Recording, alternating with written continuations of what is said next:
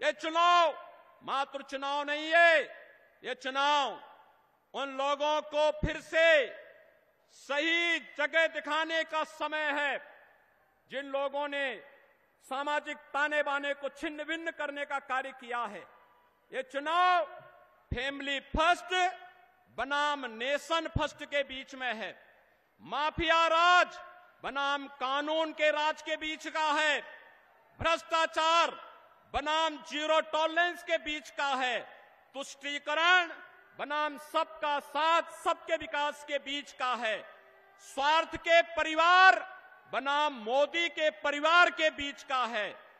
जातिवाद बनाम गरीब कल्याण के बीच का है। एक तरफ़ विकास को लेकर के चलने वाली सरकार और दूसरी तरफ़ षड्यंत्र हज़ार करने वाले वह नापाक गठबंधन के लोग जो तमाम प्रकार की भ्रम की भावनाएँ पैदा कर रहे हैं और पूरे देश के अंदर आज एक ही आवाज़ है और वह आवाज़ जो आज देश के अंदर जुड़ रही है, जो देश ने देखा अपनी आँखों से, युवाओं के लिए आजीविका भी है तो उनकी आस्था का सम्मान भी है। और मित्रों, हम सबको तय करना है कि हमें कर्फ्यू चाहिए या कावड़ यात्रा चाहिए। और यह हम सब इस बात को जानते हैं, यह देश मोदी जी की गारंटी पर विश्वास करता है।